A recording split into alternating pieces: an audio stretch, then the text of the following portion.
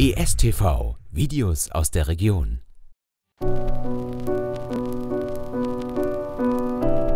Wasser ist für den Menschen ein überlebenswichtiges Element, denn der menschliche Körper kann in der Regel nicht mehr als drei Tage ohne Wasser auskommen. 10% Wasserverlust erzeugt schwere Mangelerscheinungen. Wasserverlust von über 20% kann zum Tod führen. Der weltweite Wasserverbrauch hat sich von 1930 bis zum Jahr 2000 schon versechsfacht und jährlich entnimmt der Mensch rund 4000 Kubikkilometer Wasser. Wir waren in Esslingen unterwegs und wollten von den Menschen wissen, was ihnen zum Thema Wasser spontan einfällt. Wasserarmut fällt mir spontan ein, Wassernot, natürlich aber auch das Meer, der Fluss. Wir haben hier viele Länder, in denen Wasser ganz wenig gewertschätzt wird, nämlich von den großen Firmen. Nehmen wir zum Beispiel Afrika, Nestle kauft dort große, große, große Brunnen und tut sie privatisieren, was bedeutet, im Prinzip können die Anwohner dort ohne selbst dafür zu bezahlen kein Wasser mehr bekommen.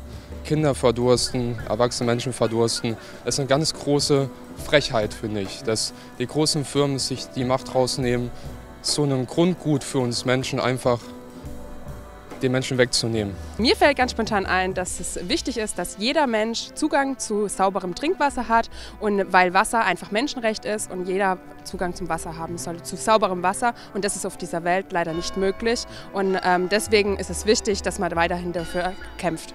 Also für uns ist Wasser ja selbstverständlich eigentlich, kommt aus der Leitung. Ne? Wir gucken halt, dass es sauber ist. Das ist aber in der Regel schon der Fall. Und was mir immer spontan einfällt, ist Nestlé. Ja, die sagen, Wasser sollte einen Preis haben. Ja, und das finde ich schon nach wie vor sehr kritisch und eigentlich beschämend in unserer heutigen Zeit. Doch wissen die Esslingerinnen und Esslinger eigentlich, woher das Wasser kommt, das in Esslingen durch die Leitungen in unsere Haushalte fließt? Und machen sie sich Gedanken über die Qualität? Da ich weiß, wo das herkommt, ähm, Esslingen hier aus dem Donauried, ähm, mache ich mir aktuell noch keine Gedanken. Andere, andere Versorgungsbereiche, die haben dann noch Bodenseewasser, die haben das noch ein bisschen besser und das im Bodensee wird in 60 Meter Seetiefe entnommen und das Schutzgebiet und da haben die ein sehr strenges Auge darauf. Also tatsächlich bin ich mir sehr sicher, dass das Wasser, was bei mir aus der Leitung kommt, dass ich das auch trinken kann ohne Gefahr. Ein großes Problem ist die steigende Belastung des Grundwassers durch Gülle. Und gelingt es nicht, die Nitratbelastung durch Gülle und andere stickstoffhaltige Düngemittel zu reduzieren, drohen durch die Wasseraufbereitung Kostensteigerungen für die Verbraucherinnen und Verbraucher. Nicht nur am Weltwassertag lohnt es sich, sich ein paar Gedanken zu diesem wichtigen Element und unserem Umgang mit ihm zu machen.